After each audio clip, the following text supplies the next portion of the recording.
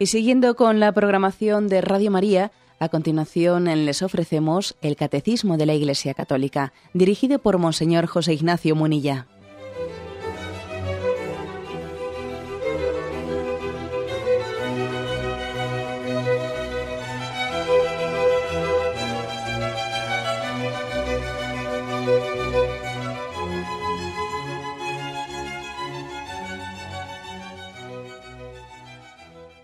Un cordial saludo a todos los oyentes de Radio María. Un día más, con la gracia del Señor, proseguimos el comentario del Catecismo de nuestra Madre la Iglesia.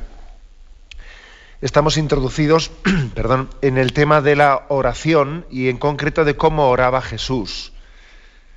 Jesús es para nosotros nuestro modelo de oración. Habíamos quedado en el punto 2601, que dice así, Estando él orando en cierto lugar, cuando terminó, le dijo uno de sus discípulos, Maestro, enséñanos a orar. Es sobre todo al contemplar a su maestro en oración cuando el discípulo de Cristo desea orar. Entonces puede aprender del maestro de oración. Contemplando y escuchando al Hijo, los hijos aprenden a orar al Padre. Este texto que cita, este punto del Catecismo 2601, es Lucas, que ya dijimos que Lucas era el Evangelio, mm, el Evangelio especialista en la oración, en el que más nos habla de cómo Jesús oraba. Pues este texto dice que Jesús, estando en oración en cierto lugar, ¿eh? no sabe qué lugar sería este en esta ocasión en concreto, cuando terminó, pues uno de sus discípulos, que tampoco se dice quién era, uno de ellos, le hizo la famosa pregunta, Maestro, enséñanos a orar. ¿Eh? Bueno, mm, aquí conviene subrayar lo, siguiente, ¿no? ¿En qué contexto ha tenido lugar, de dónde ha partido la pregunta, Maestro, enséñanos a orar? La pregunta, Maestro, enséñanos a orar, no ha, no ha nacido la pregunta de una duda teórica. ¿Mm? De una duda teórica, ¿no? Pues, posiblemente este discípulo, que no sabemos quién era, que en el fondo nos representa a todos nosotros, ni se le hubiese ocurrido, ni se le hubiese pasado por la cabeza hacer esa pregunta, de no ser porque se había sentido atraído por la figura de Jesús haciendo oración. O sea que no es una, una pregunta, digamos, meramente teórica, ¿no? ¿De dónde viene el mundo? A veces nos, hacemos una pregunta, pues un poco de, planteamiento. No, no, no, esta pregunta no es una pregunta de esas de planteamiento general de la vida, es una pregunta que nace de un testimonio, un testimonio que te interpela, un testimonio que te cuestiona, que dice, ¿y este hombre? Este hombre que parece que está ahí introducido en la oración, está introducido en ese misterio, es decir, le resultó tan atractiva la imagen de Jesús orando era una imagen que, que le estaba sugiriendo que había un misterio escondido detrás de ese hombre haciendo oración. Es como si dijese, ¿a qué ventana se está asomando ese Jesús que yo veo orar? ¿no? Por la forma en la que ora, por el recogimiento, por el misterio que guarda esta escena de verle a Jesús orando. Ahí hay algo que, que a mí todavía no se me ha descubierto en lo que yo todavía no me he introducido. Y entonces el discípulo, viendo a Jesús orar, comprende que él no sabe orar. Comprende que, él, que su oración tiene poco que ver en profundidad, etcétera, pues con la que Jesús está haciendo. Eh, esto me parece muy importante, decir, estaba Jesús orando. Dice, cuando terminó, le preguntó, no, le interrumpió, porque era algo tan, tan profundo, era algo tan sagrado lo que allí estaba teniendo lugar, el discípulo no se le ocurre interrumpirle a Jesús, que termine, ¿no? Y cuando termine le pregunta, Maestro, enséñanos a orar. Esto nos, nos recuerda lo que hemos dicho muchas veces, ¿no? que hoy en día necesitamos maestros, pero más que maestros necesitamos testigos. Testigos. Maestros que sean testigos. Porque se puede tener muchos maestros, maestrillos, que no son, que no son testigos, de eso que están enseñando y nos sirven de poco. ¿eh? Como estamos en una, cultura, en una sociedad en la que hay una inflación de, de palabras y de ideologías y cada uno pues, hay teorías para todo, ¿no? Y uno puede encontrar libros que digan una cosa y su contraria, ¿no? entonces, claro, es una cultura nuestra que podría fácilmente desembocar en el escepticismo, ¿no? Porque como se dice de todo, contradictoriamente, hay todo tipo de ideologías, ¿no? Pues cada uno se refugia en su subjetivismo y allá cada uno, ¿no? Por eso hoy en día se necesitan testigos. Y testigos hay pocos. Maestros hay muchos, testigos pocos. Maestros en el sentido, ya me entendéis, ¿no? Limitado a la palabra de quienes transmiten una ideología. Pero testigos hay pocos, ¿eh? Que son los santos. Al final los testigos son los santos, ¿no? Bueno, pues eh, esto es una llamada de atención a nosotros por dos motivos. Primero porque si nosotros estamos aquí ahora mismo, si estamos aquí hablando, si somos cristianos, es porque en nuestra vida Dios ha puesto testigos cerca de nosotros que han podido ser nuestros propios padres, que han podido ser nuestros catequistas, que han podido ser personas a nuestro alrededor, muchos santos, ¿no? que Dios también ha puesto como testigos, que han suscitado en nosotros pues, una conciencia de, de, que tenemos que aprender, una sana envidia, ¿no? Han suscitado una sana envidia. Uno cuando ve a algunas personas dice, bueno, es que este hombre vive, vive en Dios y suscita ante una sana envidia, ¿no? y es como una conciencia de la carencia que yo tengo. Viendo a este hombre, comprendo que a mí me falta mucho por caminar. Es lo que ha supuesto para muchos de nosotros pues, la figura de Juan Pablo II. Estoy pensando en tantísimos seminaristas y sacerdotes pues, que nos hemos, que nuestra vocación nació pues, bajo ese pontificado tan largo de Juan Pablo II. ¿no? Él fue un testigo para nosotros fue un testigo. Él no se limitó a, enseñar a darnos unas enseñanzas. Le veíamos a él orar y viéndole en oración entendíamos que nos teníamos que adentrar en ella. Por ejemplo, me acuerdo que en aquel famoso primer viaje que hizo a España, pues cuando fue a visitar aquella cueva de, de la Santiña, allí en Covadonga, el rato largo de oración que pasó allí delante de la Virgen, un rato de oración que a muchos nos conmovió cuando veíamos por televisión pues un papa desentendido ¿no? y unos medios de comunicación que no sabían muy bien qué hacer porque claro estaba el papa orando en silencio ¿eh? y a todos los que lo estábamos contemplando nos, hacía nos hacía entender que esto no es un show, que aquí no venimos a exhibirnos, no, aquí venimos a introducirnos en el misterio de Dios. Luego las cámaras lo que están recogiendo, lo que está haciendo es suscitar en nosotros un, adentrarnos en Dios. ¿no? Recuerdo también que creo que lo he contado en el programa, pues la impresión que me causó a mí estar cerca de nuestro Papa Benedicto XVI en el viaje que hizo a Lourdes, ¿eh? no hace mucho tiempo, ¿no? Viajó a Lourdes en aquel, dentro de aquel viaje apostólico a Francia, asistimos bastantes obispos españoles y yo recuerdo que estando cerca de él, pues le miraba le veía cómo rezaba, claro, pensando también todos los problemas que en aquel momento estaba llevando adelante su pontificado, ¿no? Con problemas, con incomprensiones, con críticas, con follones, ¿no? Yo le veía la paz que él tenía orando delante de la Virgen en la gruta de Lourdes y pensaba en mis adentros, parece que no le pesa, parece que no le pesa eh, pues ese gran, eh, esa gran responsabilidad que Dios ha puesto en sus, en sus hombros, ¿no? Parece que no le pesa más que llevar él el peso, es como si le, le llevasen a él en andas. ¿Mm? Y esa es, esa es la, lo que transmite el hombre orante. El hombre orante transmite un testimonio gráfico, gráfico porque es que eso es difícil decir cómo, ¿no? En qué medida uno es testigo, es testigo con, no solo gestualmente, sino, claro, con su propia vida, no solo con una palabra, no, no solo gesticularmente. Es difícil eh, concretar eso en qué se traduce, ¿no? Pero, pero es cierto que hay hombres que transmiten una gran paz. Transmiten una gran paz cuando rezan, ¿no? Bueno, pues algo así ocurrió en este texto de Lucas 11.1, que estando Jesús en un cierto lugar rezando, pues le miraban a Jesús. Es decir, le miraban al que miraba al Padre y se produce una especie como de concatenación, ¿no? el que ora, Jesús orando, mira al Padre.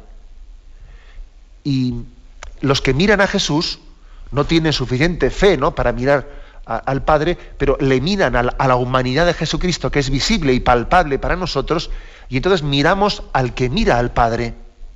Y entonces es como si nos viésemos introducidos en esa corriente interior. Por eso dice eh, este punto del catecismo que a Jesús dice es sobre todo al contemplar a su maestro en oración cuando el discípulo desea orar. Gracias a que le contempló. No solo le, no solo le, miró, ¿eh? le contempló, que es otra cosa. Gracias a que le contempló, se, adentró también y entendió que, que, también él debía de aprender a orar. ¿no? Por eso dice que para aprender del maestro hay que contemplar y escuchar. Las dos cosas. Se contempla y al contemplar se le pregunta, Jesús, enséñanos a orar. Y Jesús nos enseña, se contempla y se escucha. Aprender a orar del Hijo, ¿no?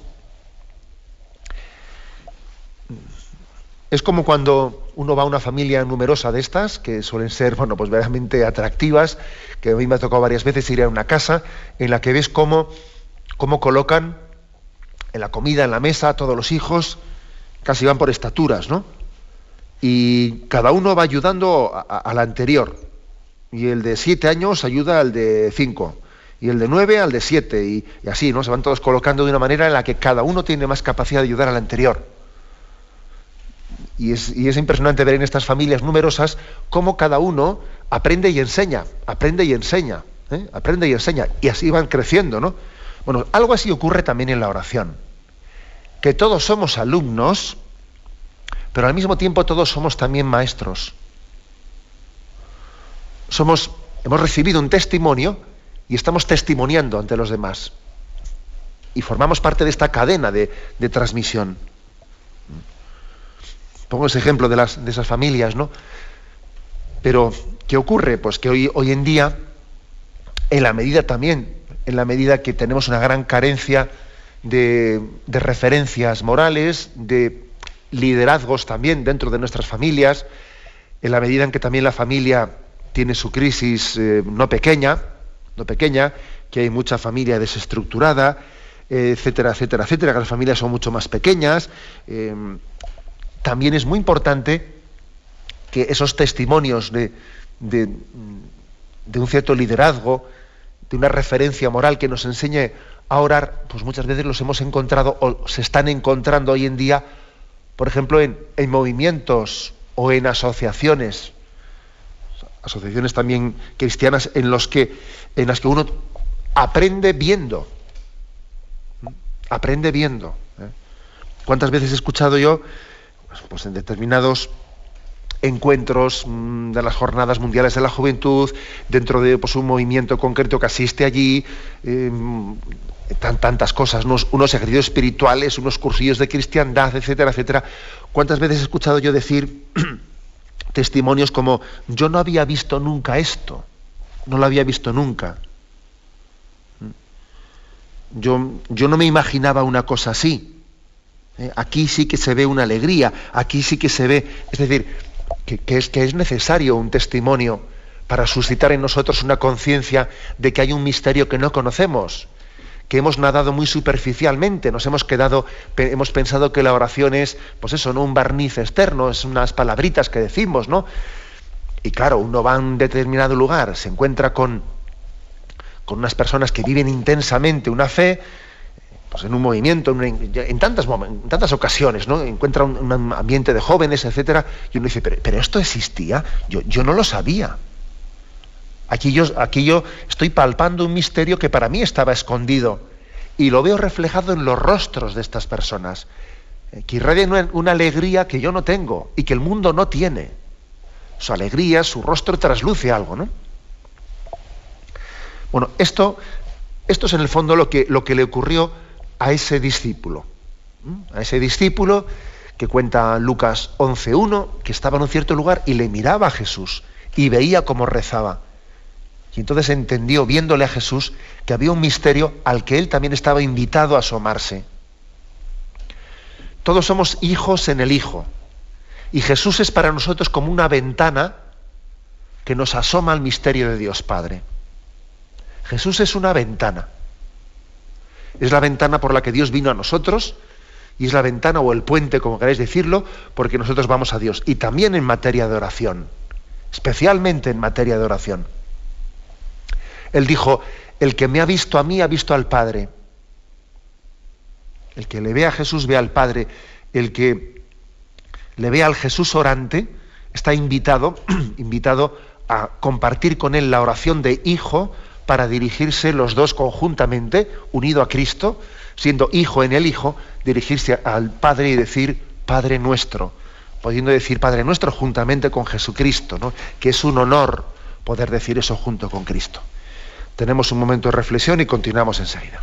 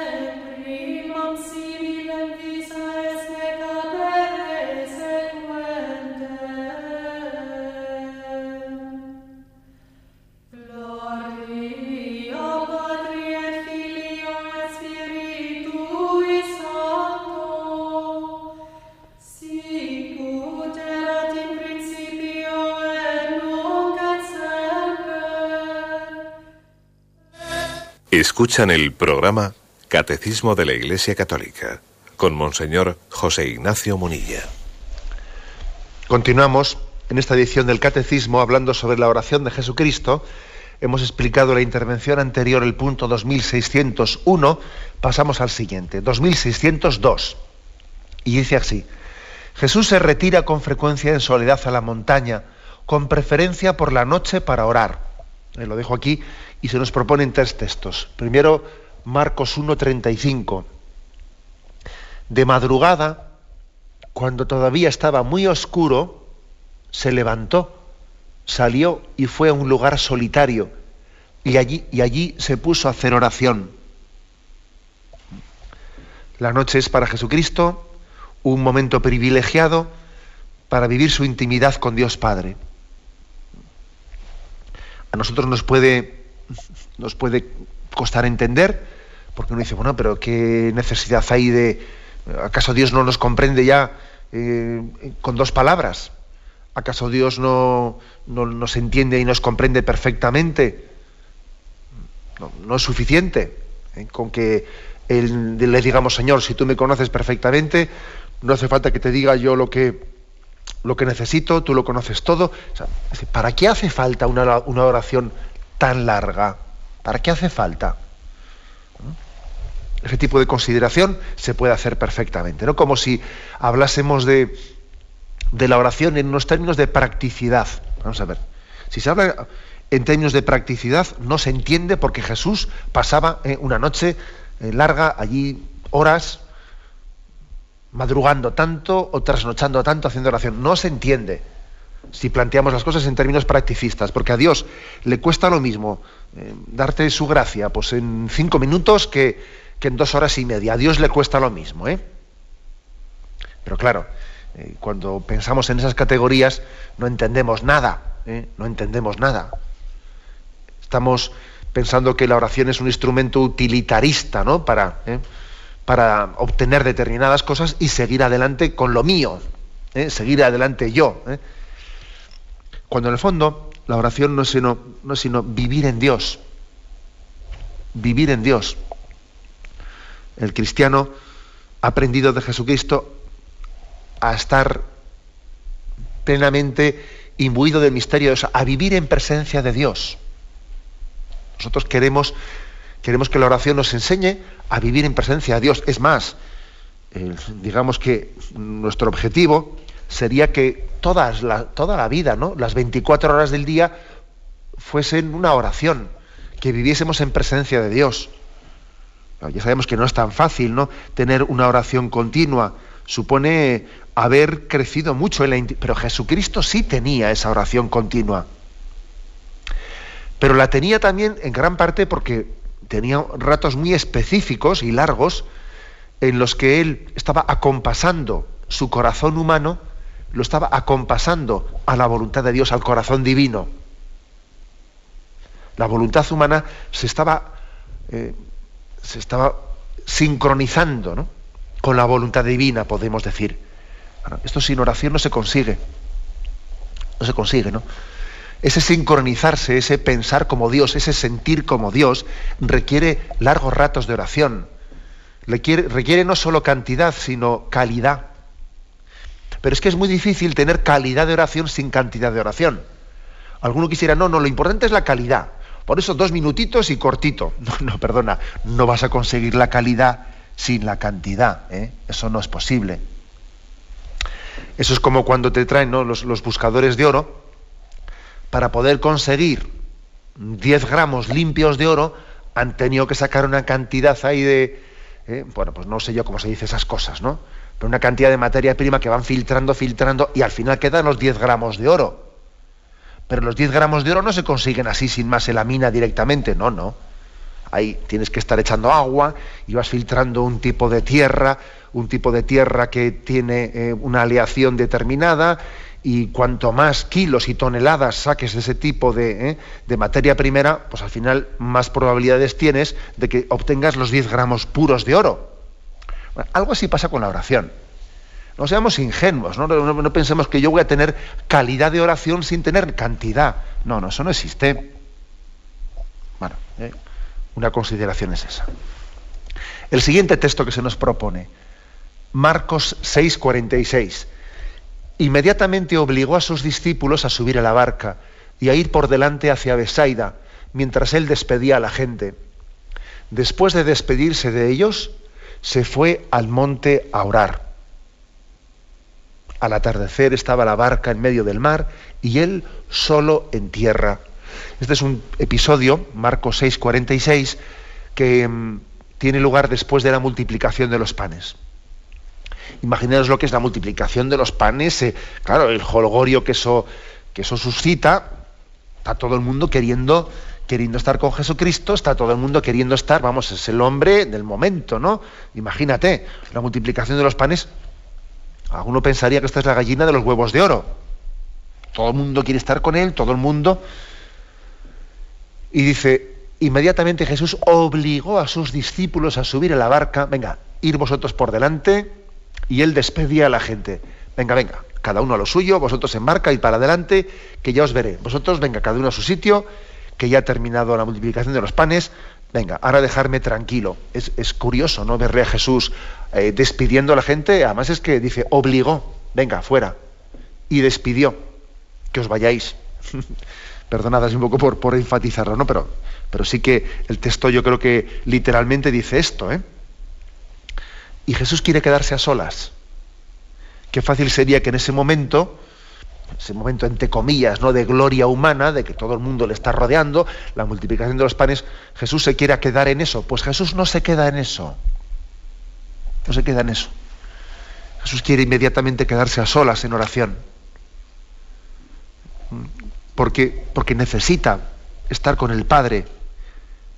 Y quiere también que ese ese gesto que él acaba de hacer de la multiplicación de los panes, necesita también ponerlo en manos de Dios Padre para que ese gesto em, sea entendido, sea bebido, sea comprendido, pues como en toda la tradición de estos dos mil años, ¿no? Pues la, Iglesia ha querido predicar. Cristo es el pan vivo, bajado del cielo, y Él quiere multiplicarse y darse a los demás como alimento para la vida del mundo, y eso necesita comentarlo con el Padre y decírselo al Padre. ¿Mm? Es, eh, es la, necesidad pues, de, que las cosas que hacemos en la vida quedan incompletas mientras que no las llevemos ante Dios. Uno en esta vida puede estar haciendo muchas cosas, ¿no? Pero como después no las finalice, no las remate, llevándolas ante Dios, lo que ha hecho perfectamente puede ser inútil, inútil. ¿eh? O sea, el milagro de la multiplicación de los panes tuvo el efecto que tuvo. También porque Jesús lo llevó al Padre.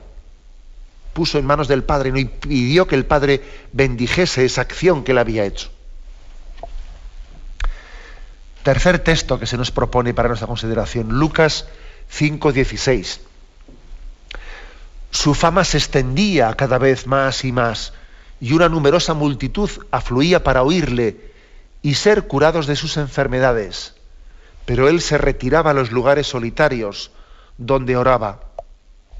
Un término parecido al anterior, como Jesús huye de la gloria humana. Huye de la gloria humana con disciplina incluso, ¿eh? Huye de la gloria humana, querían oírle, que, querían oírle, querían escucharle, quería, quería que él hiciese todo, que él curase las enfermedades. Y Jesús, que fácilmente podía haber caído en el activismo, ¿eh? Hubiese sido, vamos, facilísimo. Lo difícil era huir, huir de ello. Alguien que era continuamente requerido, esto. Qué fácil sería caer en el activismo. Qué auténtica lección nos da aquí Jesucristo a todos. ¿Qué lección nos está dando? ¿Te requieren para esto, para lo otro, para lo más allá y tal? Pues no, Señor, yo ahora me retiro a un lugar solitario a orar. Es una lección auténtica. Porque incluso también podemos ser tentados en las cosas buenas, podemos ser tentados. Si uno no pone todas las cosas en Dios, al final se está buscando a sí mismo. Al final hasta, mm, hasta, bueno, hablemos claramente, hasta también los que predicamos la palabra de Dios podemos perfectamente tener la tentación eh, de ser un showman, de ser un líder, la gente habla de ti eh, y todo eso, todo eso puede ser perfectamente una tentación. Te puedes buscar a ti mismo en ello, pero con una facilidad tremenda, que el demonio es muy astuto, es muy astuto. Y Jesús nos enseña a rechazar esa gloria humana y a retirarnos a la oración. Vemos pues a Jesús, a un Jesús que es maestro de oración para todos nosotros.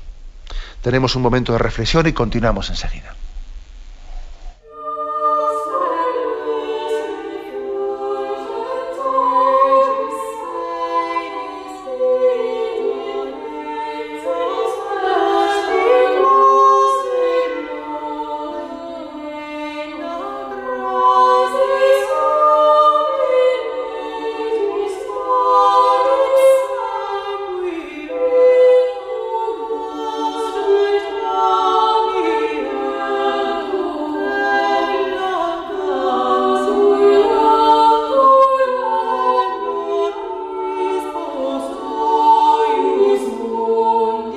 Escuchan el programa Catecismo de la Iglesia Católica con Monseñor José Ignacio Munilla. Estamos comentando el punto 2602 del Catecismo en el que se nos eh, presenta la figura del Jesús orante.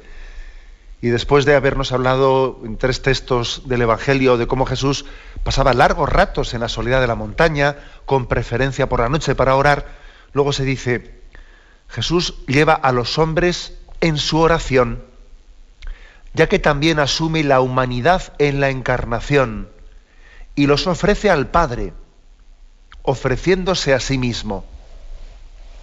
Bueno, aquí como veis hemos dado un salto. Si hasta ahora hemos eh, visto cómo desde fuera, ¿no? Hemos sido testigos de cómo Jesús ora y su actitud en la oración, sus largos ratos, nos han interpelado, nos han cuestionado este hombre cómo, cómo reza, ¿no? Ahora ya nos metemos dentro de él. Y dice, Jesús lleva a los hombres en su oración, asume nuestra humanidad en la encarnación, nos ofrece al Padre ofreciéndose a sí mismo. Aquí se nos remite a un texto anterior del catecismo que era el texto 616, 616, ¿eh? donde se dice lo siguiente. ¿eh? El amor hasta el extremo es el que confiere su valor de redención y de reparación, de expiación y de satisfacción al sacrificio de Cristo. Nos ha conocido y amado a todos en la ofrenda de su vida. Vamos a ver, ¿eh? que esto es, creo que es muy, muy, importante lo que está diciendo aquí Jesucristo, perdón, el, el catecismo sobre Jesucristo. Es decir, Jesucristo, el Señor, movido por, por un amor hasta el extremo, él ha tenido una oración y una ofrenda al Padre que ha sido una oración de reparación de nuestros pecados, de expiación, de sustitución, es decir, es el amor vicario, la entrega vicaria, la entrega sustitutiva. O sea, se ha entregado en vez nuestro. Ha estado tan unido a nosotros que cuando Jesús rezaba, estaba intercediendo al Padre por cada uno de nosotros. Hay un pasaje en el Evangelio de San Juan, que es Juan 18, versículo 8, que, narra, narra en el Evangelio de San Juan que le van a prender a Jesús, le van a, le van a coger preso en el huerto de, de, los olivos, y en el momento en que le van a coger preso, Jesús dice, dice a los soldados, si me buscáis a mí, dejad marchar a estos un texto simbólico, ¿no? Entonces, es simbólico de, de lo que es el valor, la entrega expiatoria, sustitutiva. Jesús se entrega en vez nuestro. Si me buscáis a mí, dejad marchar a estos. Es decir, Jesús está rezando al Padre por, porque nosotros somos mudos y no sabemos hablar con Dios y no sabemos suplicarle a Dios y pedirle la gracia.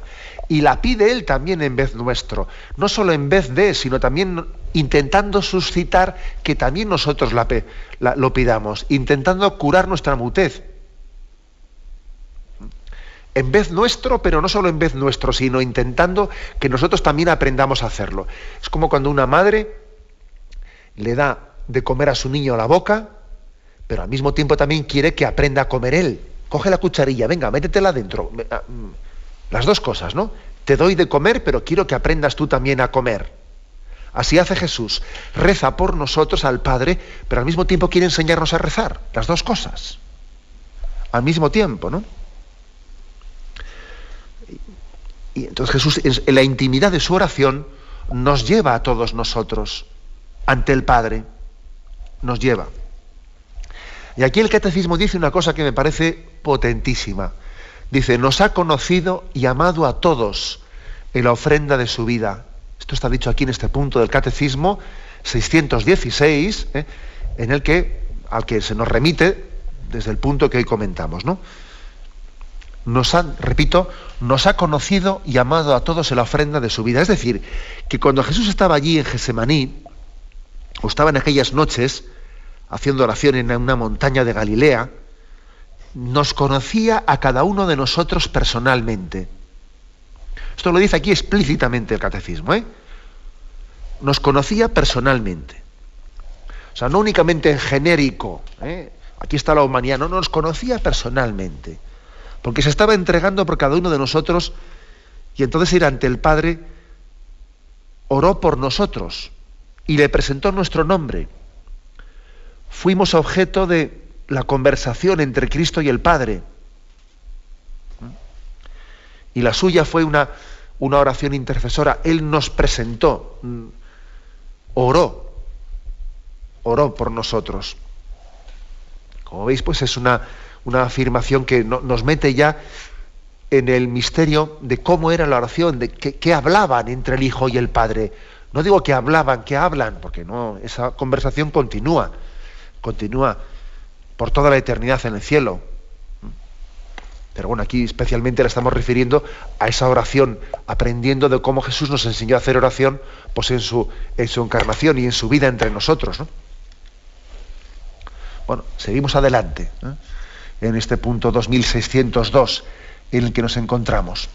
Él, el verbo que ha asumido la carne, comparte en su oración humana todo lo que viven sus hermanos. Él lo comparte. ¿eh? O sea, es decir, que él mm, no se separa de nosotros, entre comillas, ¿no? de separarse, como si yo no tengo nada que ver con vosotros para orar. No, no, nos lleva con Él. Somos su mochila. Es que nos lleva en su mochila para orar con el Padre, ¿no? Dice, por ejemplo, ese texto de Hebreos 2. ¿eh? Convenía en verdad que aquel por quien es todo y para quien es todo, llevara muchos hijos a, a la gloria, perfeccionando mediante el sufrimiento al que iba a guiarlos a la salvación. Por tanto, el, el santificador como los santificados tienen todos el mismo origen, pues no se avergüenza de llamarles hermanos cuando dice, anunciaré tu nombre a mis hermanos, en medio de la asamblea te cantaré himnos. ¿eh? O sea que el santificador y, los santificados, el santificador es Cristo, claro, los santificados todos somos nosotros, tenemos todos el mismo origen, somos de la misma pasta. ¿Eh? O sea, es decir, claro que, claro que el origen, Cristo tiene un origen, origen divino en la encarnación del Padre, que evidentemente es distinto a nosotros, pero Él ha asumido nuestra carne humana y nuestra condición humana con todas las consecuencias. ¿no? Por lo tanto, cuando, cuando va a orar al Padre, nos lleva a nosotros en la mochila. Dice, anunciaré tu nombre a mis hermanos, en medio de la asamblea te alabaré. O sea que Él recibe también en sus ratos de oración del Padre la encomienda de transmitirnos a nosotros, transmitirnos a nosotros pues, eso que Él ha vivido, eso que Él ha experimentado. No hay secretos entre Cristo y su Padre y tampoco hay secretos entre Cristo y nosotros. La intimidad que Él ha vivido con el Padre, esa intimidad quiere tenerla con nosotros. Por eso cuando Felipe le dice, ¿no? Muéstranos al Padre y nos basta. Y entonces Jesús le dice, Felipe, tanto tiempo con vosotros y no me conoces, el que me ha visto a mí ha visto al Padre. Esa intimidad que yo tengo con, el Padre la comunico con vosotros. Y para poder tener esa, esa intimidad con vosotros, yo me echo de la misma pasta. ¿Eh? Tengo la misma condición humana que vosotros. ¿eh?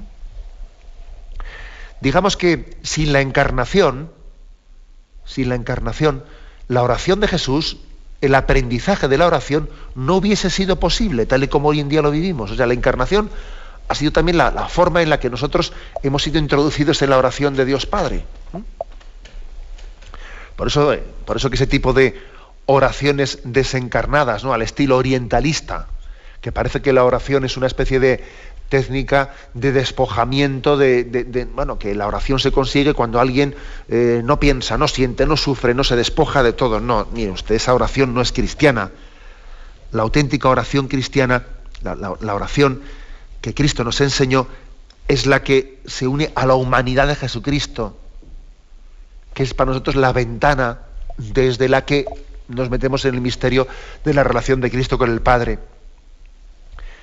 Pero la oración no puede ser un despojarse de la humanidad, porque la humanidad de Cristo ha sido la, ha sido la escuela de oración y, es, y lo seguirá siendo por toda la eternidad. No podemos desprendernos nunca de la humanidad de Jesucristo, que es nuestra, es nuestra Biblia, ¿no? Bueno, sigue aquí ese texto, ¿no? Dice, Él, el verbo que ha asumido la carne, comparte en su oración humana todo lo que viven sus hermanos. Nuestros sufrimientos Él los presenta al Padre. Padre, están sufriendo. Padre, mira que, como, hacía María, ¿no? Mira que no les queda vino. Mira que, mira que están tristes. Mira que no, nos presenta ante el Padre. Comparte sus debilidades para librarlos de ellas. Aquí nos dice dos textos, ¿no? Hebreos 2.15 que dice,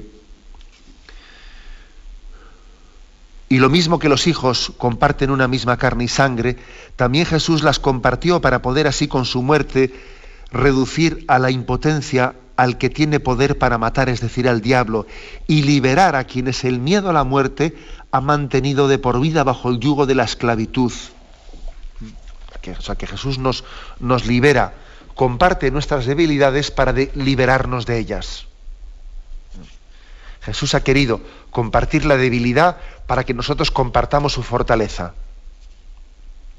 Él toma tu debilidad para que tú tomes su fortaleza.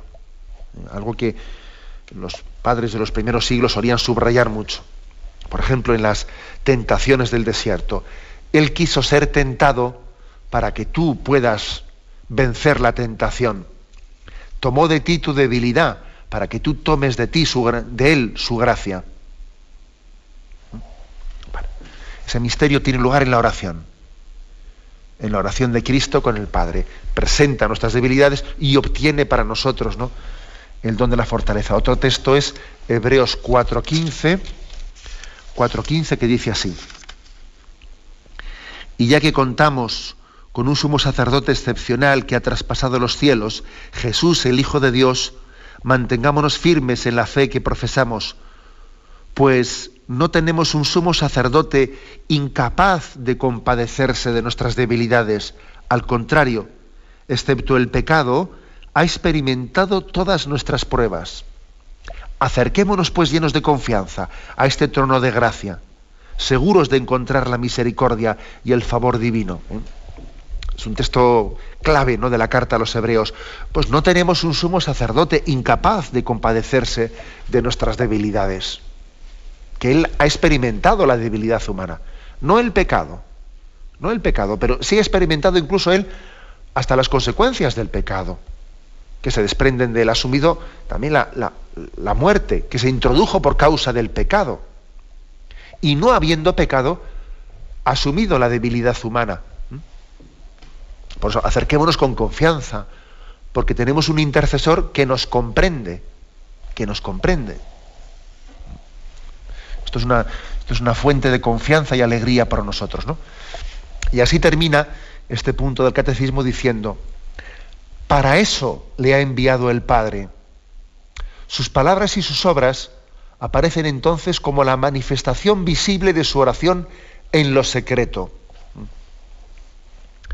Hay una oración que está en lo secreto entre el Hijo y el Padre, y esa oración intratrinitaria se manifiesta en la humanidad de Jesucristo, se manifiesta después de la encarnación. Gracias a la encarnación, lo que tiene lugar en el interior de la Trinidad se nos muestra, se nos descubre. ¿Eh? Ya no hay secretos ¿no? entre Dios y nosotros, porque ese misterio que decíamos al comienzo del día de la explicación de hoy, que les llamó la atención a los discípulos al verle a Jesús a orar, hemos sido invitados a entrar dentro de él. Por eso ha concluido diciendo, ¿no? Sus palabras y sus obras son la manifestación visible ¿eh? de lo secreto de lo que está teniendo lugar entre Cristo y el Padre. Lo dejamos aquí y ahora damos paso a la intervención de los oyentes. Podéis llamar para formular vuestras preguntas al teléfono 917 107 700. 917 107 700.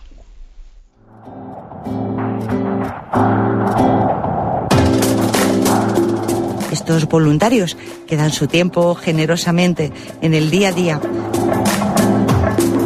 un cordial saludo a todos los oyentes de Radio María.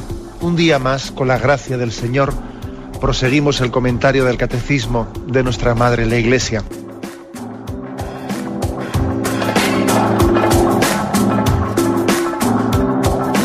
Porque le has quitado la única manera de protesta que tiene. O sea que cuando hay un dolor fuerte no hay que tomar analgésicos, hay que ir no, hay que tomar, No, sí, hay que bien, pero, pero no analgésicos fuertes para que se cometa el error de bloquear la defensa y no poder llegar al diagnóstico. Bien, bien.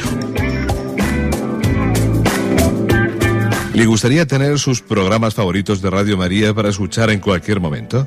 Llame y pídanos el programa que más le interesa en cualquiera de sus emisiones. Recogeremos su petición y sus datos completos para hacer el envío. Solo necesita un lector de CD o DVD que admita el formato de compresión MP3. Llame al 917-107-700 y atenderemos su petición encantados. Tome nota. 917-107-700. Radio María, más cerca de usted.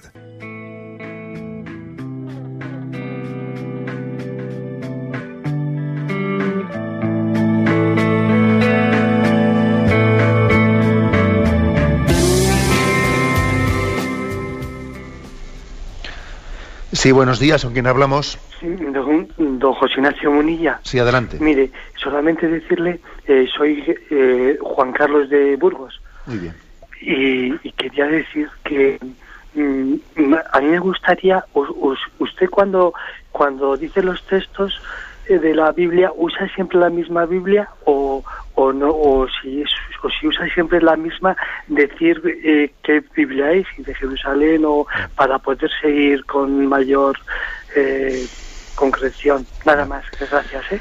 bueno pues la verdad es que me tomo cierta libertad porque a veces para para mm, tener más facilidad y más rapidez pues igual eh, tengo varias Biblias y una abiertas ya y preparadas y mm, cogidas las citas para no perder tiempo. Entonces, claro, pues una Biblia es de una edición y otra Biblia es de otra, no son todas las mismas, ¿no?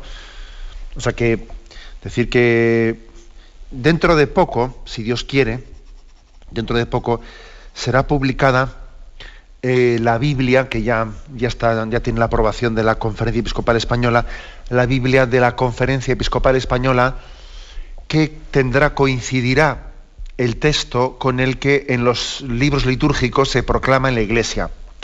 Yo sé que cuando salga esa traducción, para todos nosotros será una traducción muy importante, porque a veces nosotros eh, queremos una traducción que, coincida con los textos litúrgicos en los que es proclamada eh, la Sagrada Escritura en la Eucaristía, etcétera, ¿no? y en otras liturgias. Bien, eso tendrá lugar dentro de no mucho, dentro de pocos meses. y cuando eso sea así, pues yo, yo creo que entonces tenderemos todos a esa Biblia para que así no haya diferencias, porque también nos sentimos un poco insatisfechos cuando se, traduce una frase de una manera un poco distinta, y yo creo que para nosotros nuestra referencia, que no somos eh, especialistas, escrituristas, a nosotros la, el, texto que más nos, satisface es el que se proclama litúrgicamente. ¿eh? Entonces, bueno, pues entonces nos, agarraremos entonces a, esa.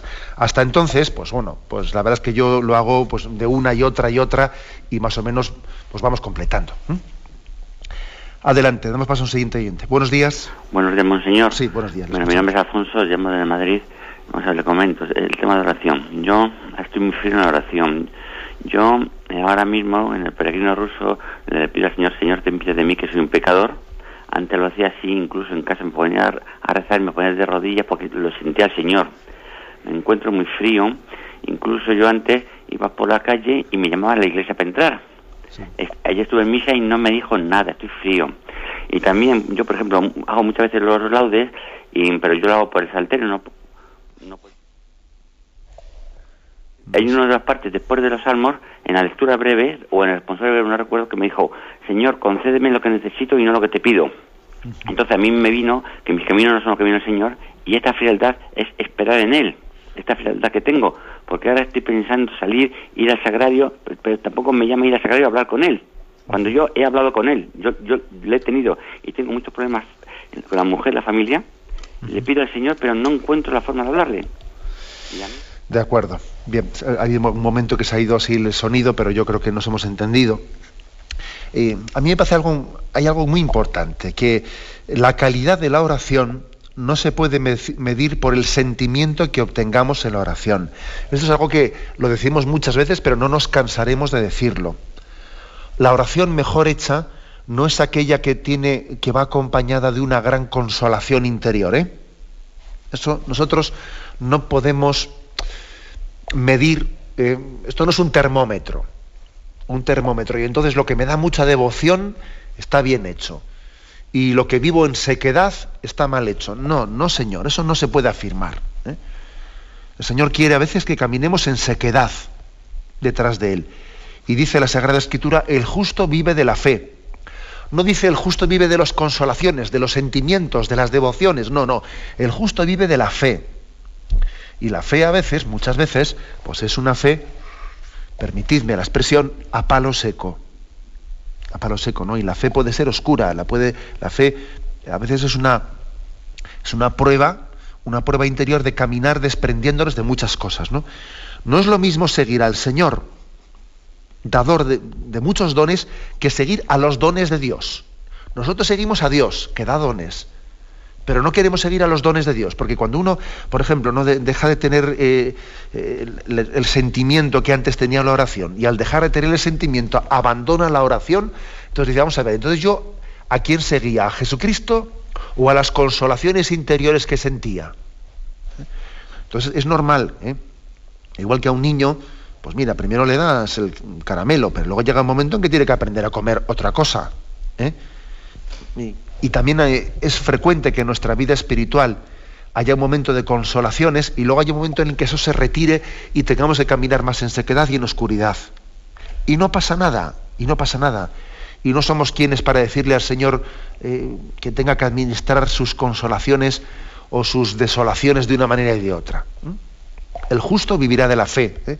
Recordad mucho esta expresión. Adelante, vamos a pasar a un siguiente oyente. Buenos días. Buenos días. Buenos días, sí, le escuchamos. Soy Lourdes desde Murcia y, la verdad es que me, me, está usted, me está el Señor haciendo mucho bien a través de sus de sus conferencias, ¿no? Y yo todas las mañanas le oigo y yo estoy encantada. Y ahora este de la oración, le tengo que decir que yo al principio de, hacer oración era mm, chocar mi, mi tormento, mi, contra una cosa tan grande que producía, me producía unos dolores de cabeza tremendas, pero que yo con mi perseverancia, el Señor, con la perseverancia que tuve, la suerte que Él me concediera, alcancé ponerme en contacto con el Señor a través de una de la renovación carismática que nos regaló el Señor. Y eso es la delicia más grande porque te introduce en ese espíritu de Dios, en esa grandeza que no es que, como usted dice, va detrás de los dones, no va detrás de Dios, de nuestro Señor Jesucristo. Muchísimas gracias, Padre. Muchísimas gracias, Monseñor. De acuerdo, pues bien, pues la verdad es que esa experiencia, esa experiencia del chocar, ¿no? Bueno, pues, pues quiere decir que, ahí todavía faltaba, faltaba un, un introducirse la intimidad, ¿eh? un introducirse la intimidad. Al final, la oración tiene que ser abandono. Abandono. La oración no está bien hecha cuando la vivimos como con una especie de, de socatira, ¿no?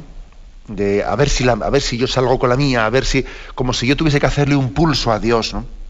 Como, esa, experiencia de estar, eh, esa experiencia bíblica, ¿no? de estar más la noche entera sufriendo, eh, como luchando con Dios. A veces, a veces la oración la hemos planteado así. A ver si me salgo yo con la mía, a ver si le traigo Dios, a Dios a la mía, a ver si... Me habéis escuchado en más de una ocasión ese ejemplo, el ejemplo de que esa barca cuando se acerca al puerto y tira, y, tira la soga, ¿no? y, y, la agarra la boya, y el pescador comienza a tirar de esa soga, claro, en realidad lo que se acerca no se acerca el puerto a la barquichuela, sino que es la barquichuela la que se acerca al puerto. Pero claro, igual el pescador tiene la conciencia, tiene la percepción de que tengo que acercarle a Dios a mí, cuando en el fondo eres tú el que te estás acercando a Dios. Pero hasta que te das cuenta de esto, hasta que dejas de luchar, ¿no?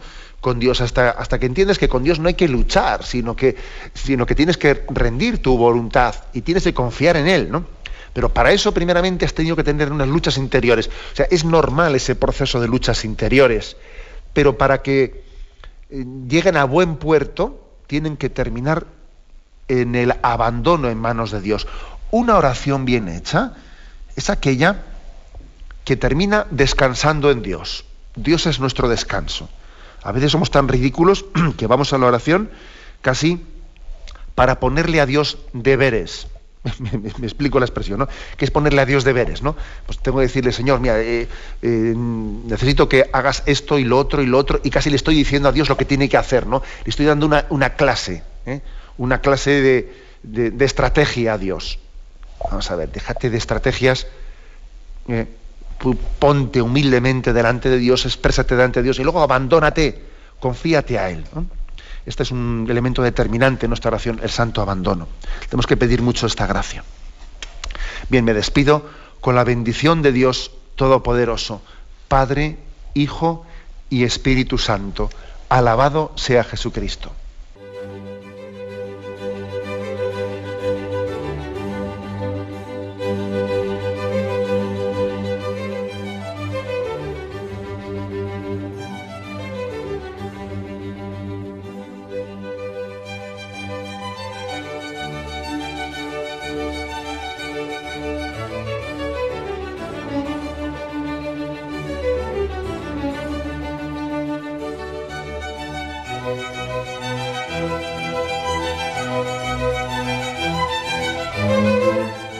Han podido escuchar en Radio María el Catecismo de la Iglesia Católica, dirigido por Monseñor José Ignacio Munilla.